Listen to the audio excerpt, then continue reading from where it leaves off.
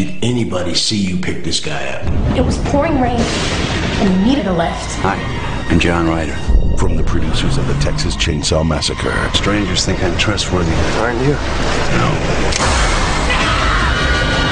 He's gonna kill more people! I want you to say four little words.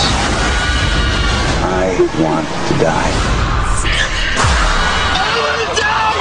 The Hitcher. Rated R.